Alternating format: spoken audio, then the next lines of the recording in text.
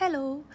So, this is the outfit that I am going to draw today. I just started drawing and it feels like digital painting is way easier than this traditional art.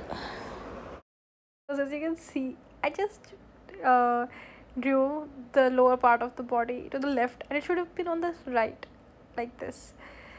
And it, it just feels like the lower part has no connection with the body with the torso over here. And if it, it was a digital painting it it would have been so much easier for me to just cut and copy paste it to the right. But now i have to manually do it again and it sucks so much. But hey at least this one came out right.